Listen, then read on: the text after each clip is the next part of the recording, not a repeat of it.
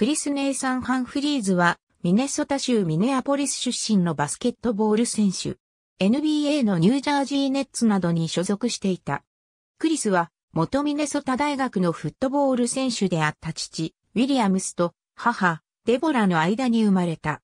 クリスタルとカエラという二人の姉がいる。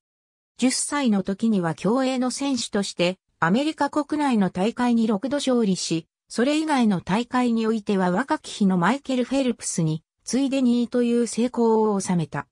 その成果は10歳以下の50メートル自由形のアメリカ国内記録として未だ残っている。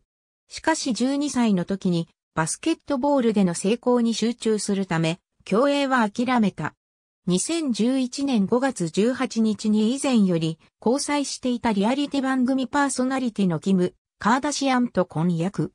ビバリーヒルズの自宅でベッドルームにバラの花びらで Will you marry me? と書き、プロポーズした。婚約指輪として20.5カラットのダイヤモンドリングを送った。同年8月20日、カリフォルニア州で結婚した。しかし結婚の数ヶ月後に離婚している。ありがとうございます。